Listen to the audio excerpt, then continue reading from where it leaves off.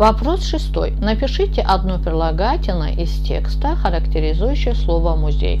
Muzey sözünü xarakterizə edən mətnin içindən bir e, sifət seçib yazmamızı istəyir bizdən sualdan. E, mətndə dəfələrlə eşitdiyimiz muzey sözünün önündə istifadə olunan детский sözümüz vardır bu sözdən biz istifadə edə bilərik.